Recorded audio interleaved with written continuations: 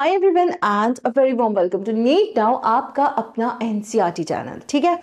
हम बात कर रहे हैं ट्रांसपोर्ट एंड प्लान्स की क्लास 11 का 11 चैप्टर बायोलॉजी का। ठीक है? काफ़ी सारे कॉन्सेप्ट हम लोगों ने देख लिए हैं। आज जो चीज़ हम देखने जा रहे हैं, वो है water movement up a plant यानी कि किस तरीके से आपकी जो वाटर मूवमेंट है, वो होती है। काफ़ी सारे कॉन्सेप्ट डिफ्यूजन ऑस्मोसिस हम क्लियर कर चुके हैं। हम एपोप्लास सिम्प्लास पाथवे देख चुके हैं। थोड़ा सा स्क्रॉल करके नीचे जाइए, आपको ये सारे वीडियोज़ मिल जाएँगे एंड आपकी हेल्प हो जाएगी, ठीक है? अगर और हेल्प चाहते हैं तो subscribe and click on the bell icon ताकि जब भी नया वीडियो आए आप तक उसकी नोटिफिकेशन ज़रूर आ जाए। So let us start right now water movement up a plant होती कैसे है? We look at how plants absorb water from the soil and move it into the vascular tissues so if you all remember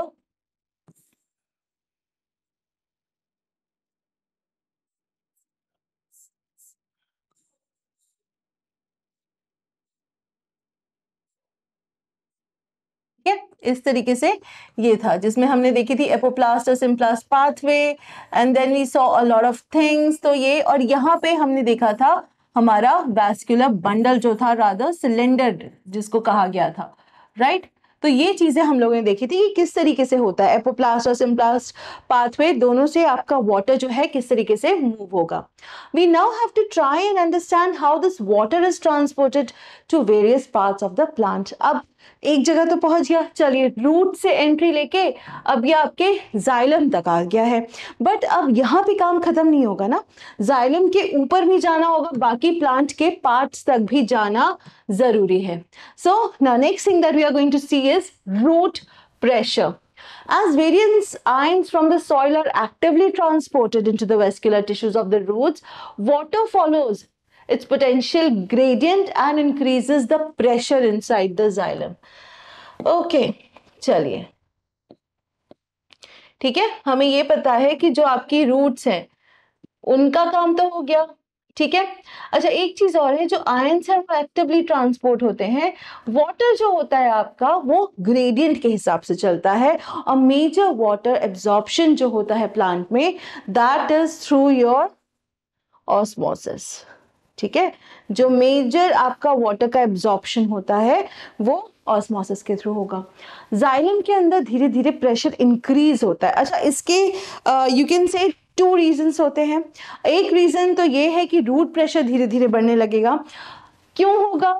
वो अभी हम देखेंगे। This positive pressure is called root pressure and can be responsible for pushing a water to small heights in stem root pressure क्या होता है ना, बच्चा, कि आपकी रूट्स ने बहुत सारा वाटर एब्जॉर्ब कर लिया। ठीक है? बट उतनी ज़्यादा ट्रांसपिरेशन ट्रांसपिरेशन पूरा कॉन्सेप्ट अभी बाकी है। उतनी ज़्यादा ट्रांसपिरेशन आप या फिर ये कह सकते हो, उतनी ज़्यादा इवेपोरेशन अभी नहीं हो रही है। ठीक है? बट इन्होंने तो वाटर एब्जॉर्ब कर लिया। तो जो प्रेशर बढ़ेगा क्वांटिटी की वजह से, वो है आपका रूट प्रेशर ठीक है? होगा क्या? यहाँ से वाटर था। वाटर एब्जॉर्ब होता चला गया है ना? अब यहाँ पे बढ़ गई तो ये थोड़ी सी हाइट तक मान लीजिए यहाँ तक इसको पुश कर सकता है ठीक है? इनफैक्ट आप लोगों को एक कॉन्सेप्ट uh, पता होगा जिसमें जो आपकी लीव्स की मार्जिन होती हैं अर्ली मॉर्निंग में वहाँ पे ड्रॉपलेट्स फॉर्म हो जाती हैं राइट इस तरीके से। ये जो ड्रॉपलेट्स फॉर्म होती हैं इनको हम गट्टेशन के नाम से जानते हैं जो आपके हाइडाथोड्स की वजह से होती है। लीव्स की मार्जिन पे प्रेजेंट होते हैं ये स्मॉल स्ट्रक्चर्स और जिनके थ्रू जो रूट प्रेशर की वजह से एक्सेस वाटर आया है वो क्योंकि वैपरेट तो हो नहीं रहा है तो ये मार्जिन से निकल के लीव्स की मार्जिन पे आ जाता है। So, यहाँ से निकल के जो लीव्स की मार्जिन हैं उनके थ्रू लीव्स के एंड पे आ जाएगा इकट्ठा हो जाएगा। Effect of root pressure is also observable at night and early morning when evaporation is low and excess water collects in the form of droplets around special openings of veins near tip of grass, blades and leaf of many herbaceous plant. यही कह रहे हैं। जैसे for example ये है आपकी leaf ठीक है? तो इस तरीके से वेन्स होती हैं है ना? और यही वेन्स के पास होते हैं आपके हाइड्राथोड्स और ये हाइड्राथोड्स जो है, ये जो रूट प्रेशर के जैसे एक्सेस वाटर आया है, इसको बाहर निकालने में हेल्प करते हैं।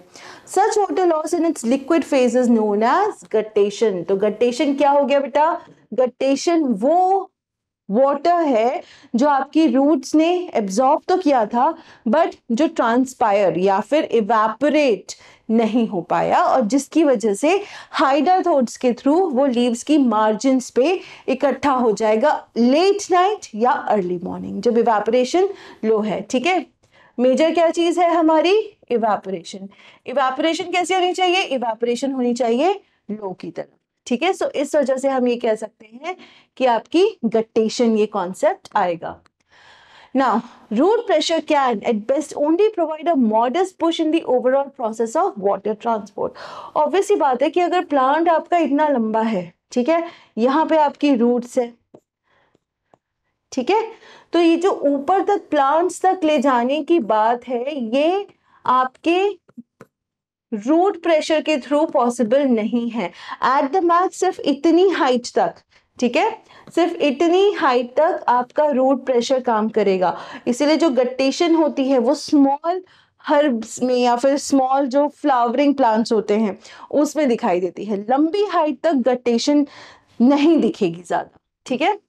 They obviously do not play a major role in water movement of tall trees तो जो टॉल ट्रीज होते हैं उनमें वाटर मूवमेंट में इसका कोई रोल मेजर नहीं है The greatest contribution of root pressure may be to re-establish the continuous chains of water molecules in the xylem, which often break under the enormous tensions created by transpiration. Transpiration में detail में बताऊँगी but इतना समझ लीजिए कि transpiration जो है वो वाटर इवेपोरेट करती है उसकी जैसे एक पुल क्रिएट होता है एक खिंचाव क्रिएट होता है होता क्या है जैसे जैसे रात आएगी, जैसे जैसे इवनिंग आएगी, ये खत्म हो जाएगा। खत्म क्यों हो जाएगा? क्योंकि कुछ इवेपोरेट हो नहीं रहा है सन है नहीं।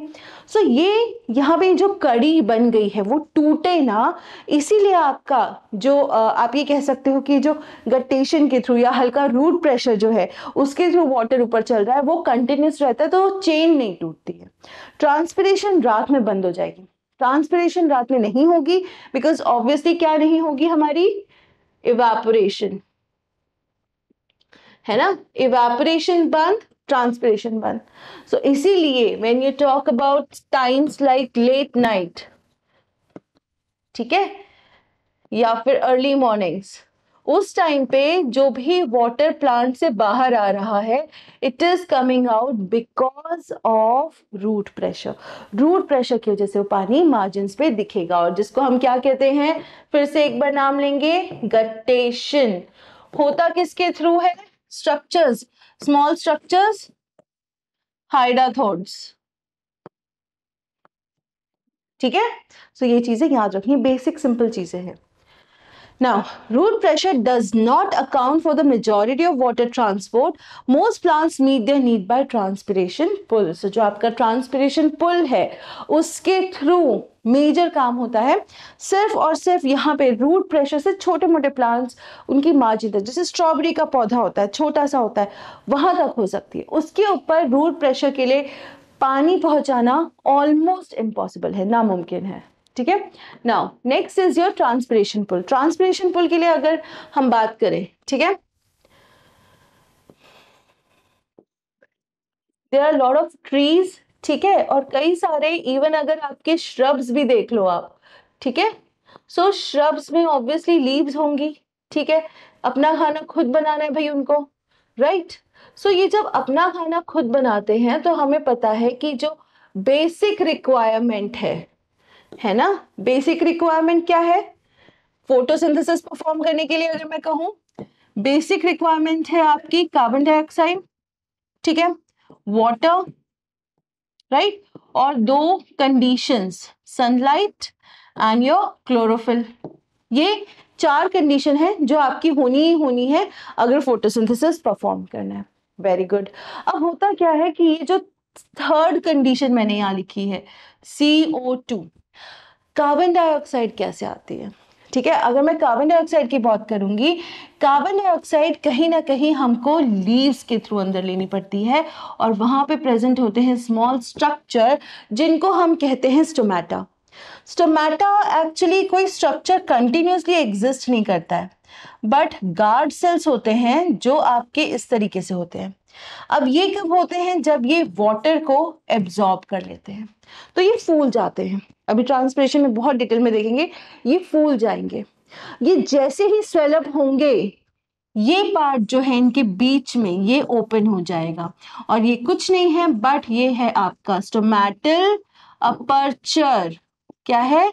स्टोमैटल अपर्चर और इसके थ्रू आपकी दो चीज़ें आएँगी जाएँगी। मेजरली बाहर क्या जाएगी? बाहर जाएगी वाटर वेपर ठीक है? अंदर क्या आएगी? कार्बन डाइऑक्साइड अब हमको ये पता है कि फोटोसिंथेसिस परफॉर्म करने के लिए मुझे कार्बन डाइऑक्साइड चाहिए ही चाहिए। ऑब्वियस ही बात है। तो मुझे स्टोमेटल अपर्चर खोलना पड़ेगा। ज़बरदस्ती इनको स्वेल करना पड़ेगा। इस कंडीशन को क्या कहते हैं? टर्जिड जब ये स्वेल हो जाते हैं। ठीक है, ये ट्रांसपरेशन में मैं बहुत डिटेल में एक्सप्लेन करूँगी, आप परेशान मत होइए। ये इस तरीके से नॉर्मल होते हैं और इनको हम कहते हैं फ्लैसिड ये जो आपके गार्ड सेल्स हैं, तब इनमें वाटर नहीं है अंदर। स्टोमेटल अपर्चर क्लोज है। ठीक है, अब जैसे ही इन्होंने वाटर एब्जॉर्ब किया, ये इस तरीके से ओपन हो जाएँगे। और ये स्टोमेटल अपर्चर खुल गया वाटर वेपर बाहर कार्बन डाइऑक्साइड अंदर।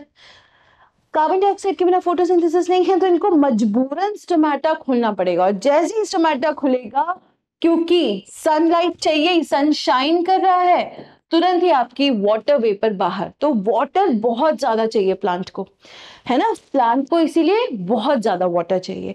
और जो ये वाटर खींचता है, ये माँगता है, यही है आपका ट्रांसपिरेशन पुल तो चलिए Despite the absence of a heart or a circulatory system in plants, the upward flow of water through xylem in plants can achieve fairly high rates up to 15 meters per hour यानी कि 15 metre प्रति घंटे की रफ्तार से water ऊपर आ सकता है Most researchers agree that water is mainly pulled through the plant. दो चीज़ें होती है या तो रूट्स पुश कर रही हैं या लीव्स पुल कर रही हैं तो यहाँ पे ज़्यादातर ज़्यादातर आप मान के चलिए रिसर्चर्स यही सोचते हैं कि जो लीव्स होती हैं, वो पुल करती हैं। And that the driving force this process is transpiration from the leaves actually transpiration जो है, क्योंकि वाटर वेपर की वाटर वेपर निकलता जा रहा है तो उसको और वाटर चाहिए ना, उसको तो अपने काम तो करनी है तो इस वजह से खिंचाव बन रहा है, जो बार बार पुश कर रहा है, किस चीज़ को? कि वाटर पुल हो, है ना? Now, this is referred to as the cohesion tension transpiration pull model of water transport. पानी बाहर खाली जगह क्रिएट हुई पुल कर लो पानी को बस Water is transient in plants. Less than 1% of the water reaching the leaves is used in photosynthesis and plant growth. बाकी का सारा मतलब यू कैन से कि सारा सारा पानी जो है वो ट्रांसपिरेशन के थ्रू उड़ जाता है most of it is through lost to the stomata in the leaf this water loss is known as transpiration और एक बहुत famous you can say sentence है that transpiration is the price plants pay for photosynthesis यानी वो बेचारे को अपना खाना बनाना है, इसलिए उसको एक प्राइज एक कीमत चुकानी पड़ती है और वो कीमत है ट्रांसपिरेशन ठीक है? So this is something that will seen next lecture in quite detail आज के लिए इतना ही। अब आपको पता है आपको क्या करना है। आपको तुरंत खोलनी है अपनी बुक पढ़ना है रीड करना है, समझना है लेक्चर देख लिया है। नहीं समझ आता है, कुछ भी मिसिंग है कमेंट करिए। मैं आपको और तरीकों से कोशिश करूँगी कि मैं समझा पाऊँ, मैं बता पाऊँ। ठीक है? I see you soon on other side जब हम एक और वीडियो लेके आएँगे, अरे बट उसके लिए क्या करना होगा? प्रेस करो भाई बेल आइकन प्रेस करो सब्सक्राइब करो कमेंट करो if you like the video let me know what all you want so that I can help you out as much as I can and thank you for your wonderful comments आपके जो comments होते हैं, वो कभी कभी सच में मेरा gloomy day happy day कर देते हैं।